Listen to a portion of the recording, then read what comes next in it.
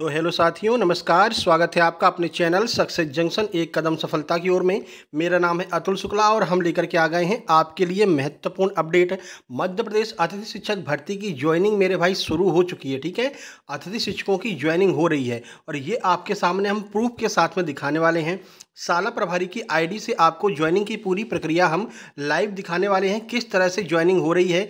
कैसे कैसे, कितने कितने फॉर्म एक एक विद्यालय में ऑनलाइन एप्लीकेशन आ रहे हैं? कैसे अप्रूव कर रहे हैं और कैसे मिल रहा है? रेफरेंस कोड जिसके लिए बहुत सारे अतिथि शिक्षक परेशान हैं। तो वीडियो को लाइक करके चैनल को सब्सक्राइब कर दीजिए, जिससे कि मध्य प्रदेश में होने वाली सभी भर्ती परीक्षाओं की जानकारी सही समय पर आप तक पहुँच सके। और चलिए एक एक पूरी प्रोसेस बताते हैं। जो लोग ये सोच करके बैठे हैं कि भाई ज्वाइनिंग नहीं हो रही है रेफरेंस कोड नहीं मिल रहा है, अभी तो पोर्टल अपडेट ही हो रहा है, अपन को परेशान होने की आवश्यकता नहीं है तो मेरे भाई आपको बता दें कि आप शांति से बैठे रहेंगे और यहाँ पर इस तरह से जो आदेश हैं और जो ज्वाइनिंग है वो अप्रूव होती रहेगी और आपके आसपास के अतिथि शिक्षक के पद भर जाएँगे, ठीक है? इसलिए लगातार जुड़ते रहिए हमारे साथ में और अपने दोस्तों को भी बताते रहिए चैनल को सब्सक्राइब ज़रूर कर लीजिए। देखिए, अब आपको बताने वाले हैं किस तरह से ज्वाइनिंग हो रही है, किस तरह से ज्वाइनिंग दे रहे हैं जो साला प्रभारी हैं वो। देखिए, जब साला प्रभारी के पास में ज्वाइनिंग साला प्रभारी को देना होता है तो सबसे पहले उनको क्या करना है, वो जाते हैं सीधे गेस्ट फैकल्टी पोर्टल पर। गेस्ट फैकल्टी पोर्टल पर जाकर के वो अपनी आईडी से लॉगिन करेंगे लॉगिन पेज पर जाकर के जो साला प्रभारी की आईडी होगी, उस आईडी और पासवर्ड से वो लोग लॉगिन कर रहे हैं। लॉगिन करने के बाद में जैसे ही वो लॉगिन करते हैं, उसके बाद में वो पहुँचते हैं अतिथि शिक्षक ज्वाइनिंग वाले जो आपका ऑप्शन रहता है, वहाँ पर लिखा रहता है अतिथि शिक्षक ज्वाइनिंग सत्यापन। ये केवल और केवल जो आपके साला प्रभारी हैं, उनकी आईडी पासवर्ड से लॉगिन करने पर मिलेगा, आपको नहीं मिलेगा, ठीक है? आपको केवल केवल अपना आदेश तैयार करना है अपना मतलब ज्वाइनिंग प्रक्रिया तैयार करनी है और इसको लेकर के साला प्रभारी के पास में जाना है। जब आपका आ, आप यहाँ से ऑनलाइन मतलब फॉर्म भरेंगे तो वहाँ पर उनके पास में आपका नाम पहुँच जाएगा ठीक है? देखिए तो यहाँ पर इनको अब सत्यापन करना है। सत्यापन करने के लिए ये क्या करेंगे? जो साला प्रभारी हैं, वो साला प्रभारी यहाँ पर जाएँगे, जैसे ही यहाँ पर आप, यहाँ पर वो क्लिक करेंगे ऑनलाइन सत्यापन के लिए तो ऑनलाइन सत्यापन में जब क्लिक करते हैं तो उनके सामने इस तरह का इंटरफेस खुल करके आ जाएगा, जिसमें लिखा रहेगा आवश्यक सूचना। मैं प्रमाणित करता हूँ कि पद रिक्त है। अगर पद रिक्त होगा तो वो यहाँ पर अप्रूव कर देंगे। हाँ यह जिस पद के लिए आवेदन आया है, वो पद रिक्त है। अगर मैं प्रमाणित करता हूँ, पद रिक्त नहीं है। अगर पद रिक्त नहीं होगा तो वो यहाँ से रिजेक्ट कर देंगे। दोनों ऑप्शन साला प्रभारी को मिल रहे हैं अप्रूव का और रिजेक्ट का, ठीक है? पद रिक्त होगा तो वो आपके ऑनलाइन एप्लीकेशन को एक्सेप्ट करते हुए अप्रूव कर देंगे। नहीं तो वो रिजेक्ट कर देंगे, ठीक है? मान लीजिए वहाँ पर उन्होंने अप्रूव कर दिया हाँ पद रिक्त है। उसके बाद में क्या करेंगे? व्यू ज्वाइनिंग रिक्वेस्ट देखेंगे। मान लीजिए दो पद यहाँ पर रिक्त है या फिर एक पद रिक्त है, मान लीजिए, एक पद रिक्त है तो वो क्या करेंगे कि उन्होंने यहाँ पर अप्रूव किया, उसके बाद में ये जो है स्कूल का नाम है डाइस कोड दिया हुआ है, इस स्कूल के ये जो सारा प्रभारी हैं, जिनकी आईडी आईडी से जिन्होंने अपना बताया है, ठीक है? तो यहाँ पर वो क्या करेंगे? व्यू ज्वाइनिंग प्रोसेस वो ये देखेंगे कि हमारे पास में एक पद के लिए कितने आवेदन आए हैं। तो व्यू ज्वाइनिंग प्रोसेस पर वो क्लिक करेंगे। जैसे ही वो क्लिक करेंगे, उस तरह जब क्लिक करते ही उनके सामने कुछ इस तरह से लोगों के नाम आ जाएँगे, जिनका अप्रूव जिन लोगों ने आवेदन किया है ऑनलाइन ठीक है? यानी कि आवेदन भी ऑनलाइन हो रहे हैं अप्रूवेंस भी मिल रहा है और ज्वाइनिंग भी हो रही है, ठीक है? इस तरह से इनके सामने दस बारह नाम आ जाएँगे। अब ये सारे नाम एक तरफ़ से दिखने लगेंगे जिसमें इनका नाम दिया रहेगा जिन लोगों ने आवेदन किया है। आ, उनके गेस्ट का नाम मतलब गेस्ट का नाम दिया रहेगा स्कूल में किस स्कूल में आवेदन किया है ठीक है? उसके बाद में कौन से वर्ग के लिए आवेदन किया है मोबाइल नंबर दिया रहेगा गेस्ट टीचर का वैकेंसी टाइप दी रहेगी तो गेस्ट फॉर्म वैकेंसी है ठीक है? वेरीफिकेशन टाइप दिया रहेगा यहाँ पर क्लिक करते ही अप्रूव और रिजेक्ट का ऑप्शन आ जाएगा।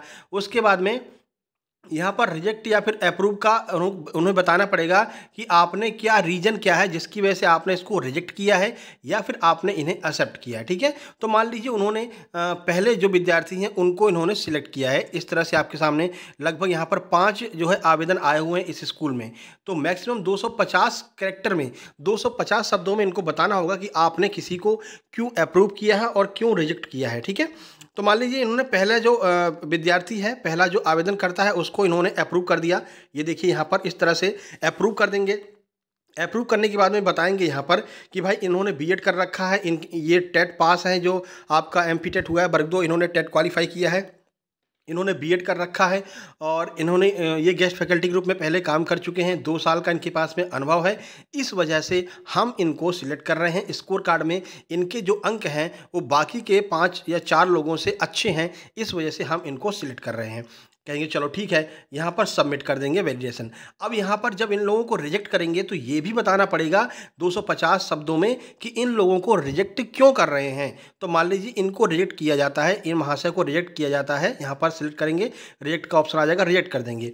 फिर यहाँ पर वो लिख करके बताएँगे कि इनके पास में टेट नहीं है या फिर इन्होंने आ, मतलब कि बीएड नहीं कर रखी है या फिर इनके स्कोर कार्ड में नंबर कम है इस वजह से इनको रिजेक्ट कर रहे हैं। इन्हों इन्होंने टेट तो कर रखी है लेकिन इन्होंने बीएड नहीं कर रखी इसलिए हम इनको रिजेक्ट कर रहे हैं। ये सब रीजन बताना पड़ेगा ऐसा नहीं कि कुछ भी अपना जिसको मन अप्रूव कर दिया जिसको मन हटा दिया ऐसा नहीं कर पाएँगे ठीक है? पूरा रीजन देना पड़ेगा और जैसे ही ये लोग यहाँ पर सबमिट करेंगे ये सबमिट बटन पर जैसे ही क्लिक करेंगे वैसे ही साला प्रभारी की आईडी पर जो साला प्रभारी है जिन्होंने ये आ, मतलब कि सबमिट किया है। सबमिट करते ही इस पहले विद्यार्थी के नाम का रेफरेंस कोड शाला प्रभारी के मोबाइल नंबर सारा प्रभारी के आ, जो जीमेल आईडी है इस पर रेफरेंस कोड आ जाएगा और यहाँ से ऊपर से उनके पास में जो है रेफरेंस कोड शो होने लगेगा। जैसे ही वो रेफरेंस कोड इनको मिल जाएगा तो ये आपके मोबाइल नंबर पर फ़ोन करेंगे कि भाई देखो आपको सिलेक्ट कर लिया गया है आप अपना आवेदन लेकर के आ जाइए। आप जैसे ही आप अपना आवेदन लेकर के पहुँचेंगे, वहाँ पर ये साइन वाइन करेंगे, उसके बाद में यहाँ पर जो रेफरेंस कोड का ऑप्शन दिया रहेगा, जो इनके मोबाइल नंबर पर रेफरेंस कोड आया है, उसी मोबाइल नंबर के रेफरेंस कोड को यहाँ पर भर देंगे अपने हाथ से। यहाँ पर रेफरेंस कोड अपने हाथ से भरेंगे और यहाँ पर साइन करेंगे कि हाँ भाई, हमने रेफरेंस कोड भर दिया है और हमने इनको अप्रूव कर दिया है। फिर क्या होगा, फिर अतिथि शिक्षक उस अप्रूवेंस को लेकर के अपनी आईडी पर फिर से लॉगिन आईडी से पासवर्ड से लॉगिन करेगा। लॉगिन करने के बाद में उस अप्रूवल जो उनको मिला है, उसको ले जा करके अपलोड कर देगा गेस्ट टीचर पोर्टल पर और वहाँ पर उनको ज्वाइनिंग की डेट मिल जाएगी। अपलोड करते ही अप्रूव हो जाएँगे संकुल केंद्र से और वहाँ पर ज्वाइनिंग की डेट मिल जाएगी कि भाई आपको मान लीजिए 20 अगस्त से आपको पढ़ाने जाना है और इस स्कूल में आपकी ज्वाइनिंग हुई है। आपको कंग्रेचुलेसन इस तरह से सारी प्रक्रिया आपकी चलने वाली है। तो जो लोग यहाँ पर परेशान हो रहे थे रेफरेंस कोड को लेकर के, आपके पास में रेफरेंस कोड नहीं आएगा। साला प्रभारी के पास में आएगा, साला प्रभारी अपनी आईडी से जब लॉगिन करेगा, उसके पास में ही रेफरेंस कोड आएगा और आपको साला प्रभारी के द्वारा रेफरेंस कोड दिया जाएगा। आपको बस इतना करना है, अपना फॉर्म भरिए फॉर्म निकालिए और जो फॉर्म निकल करके आ जाए, उसको ले जा करके आपको साला प्रभारी के पास में पहुँचना है। वहाँ पर वो पहले से ही आपको अप्रूव करके रखे होंगे कि हाँ आप अप्रूव हो गए हैं और आपके मोबाइल नंबर पर फ़ोन भी कर देंगे कि आपको अप्रूवल मिल चुका है। अब नए वाले यहाँ पर परेशान है सर नए वालों का कैसे होगा? जैसे ये सारे अप्रूवल समाप्त हो जाएँगे, उसके बाद में। अब ऐसा नहीं है कि ये बचे हुए हैं तो इनको जो है दूसरे स्कूल में शिफ्ट कर दिया जाएगा। नहीं रिजेक्ट मतलब रिजेक्ट एक ही विद्यालय में आपने आवेदन किया है, वहाँ से रिजेक्ट मतलब आप रिजेक्ट हो चुके हैं। ठीक है? इसके बाद में जो स्कूल बचेंगे, वहाँ पर वैकेंसी खाली बचेंगी। उन वैकेंसियों पर ये लोग आवेदन नहीं कर पाएँगे पुराने वाले।